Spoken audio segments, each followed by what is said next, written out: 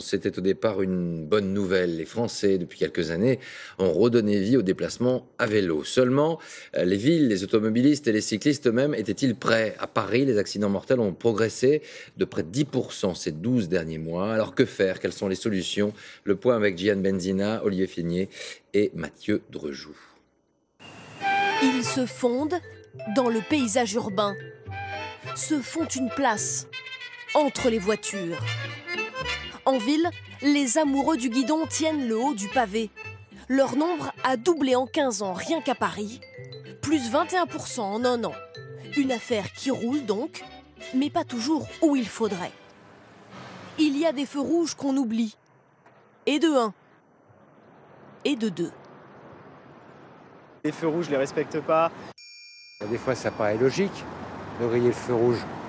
Il y a des choses qui sont faites qui, normalement, ne sont pas euh, autorisées, c'est sûr comme prendre une route à contresens ou carrément un carrefour, ce que dénoncent certains. Ça se passe pas toujours bien les cyclistes, ils jouent pas toujours le jeu. Hein. Des vélos qui passent très rapidement sans regarder et euh, il faut s'écarter ou euh, même se jeter en arrière pour laisser passer. Voilà.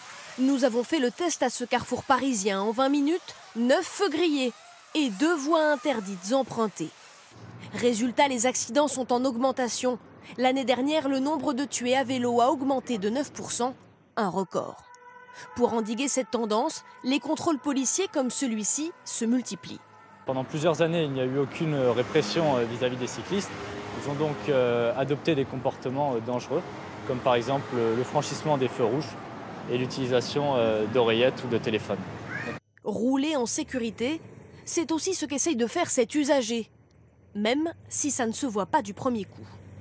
Le vélo est son outil de travail. Tous les jours, il doit ruser pour se frayer un chemin dans les bouchons parisiens. Le mieux, c'est de réussir à, slalomer entre les voitures, euh, rouler sur les voies de bus au maximum pour prendre le moins de risques possible. Pour lui, ce qui favorise les comportements à risque, c'est un environnement urbain inadapté.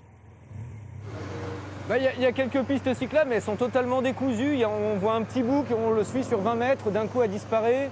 50 euh, mètres plus loin, on la retrouve de l'autre côté de la rue, on ne sait pas comment on était censé y aller. Il n'y a vraiment aucune signalisation qui est, claire pour à la fois les cyclistes et à la fois pour les, voitures. Il y a vraiment un gros danger là-dessus. Pourtant, depuis cette première piste cyclable en 1979 à Paris, le réseau s'est étoffé. Mais l'espace urbain continue d'être un terrain de conflit entre cyclistes et automobilistes, et leur colère s'affiche sur les réseaux sociaux, cela prêterait même à sourire. Mais les conséquences sont parfois plus graves. Mathieu Troud en a fait les frais. Ce passionné de vélo court les compétitions. Lundi dernier, alors qu'il s'entraîne, il pousse jusqu'à 30 km/h. Un motard le rattrape et le pousse. Il bascule par-dessus cet îlot. J'ai volé et le dernier souvenir, c'est ma tête qui tape le sol euh, fortement et plus rien. En le heurtant, le motard l'accuse d'avoir grillé un feu. moi, je ne peux pas dire que c'est vrai ou, pas, parce que je n'ai aucun souvenir. Mais même si j'avais fait, cet acte-là, je ne méritais pas d'avoir un tel accident. Résultat, un traumatisme crânien et plusieurs jours à l'hôpital. Pour cette association de prévention routière, la clé pour réduire les accidents, c'est que chaque usager de la route apprenne à connaître le droit des autres. Il faut que progressivement les gens comprennent que euh, sur cet espace-là, ce n'est pas les piétons qui sont prioritaires ou les cyclistes qui sont prioritaires ou les voitures qui sont prioritaires. C'est chacun doit être attentif à l'autre de manière à ce que cet espace soit le plus convivial possible.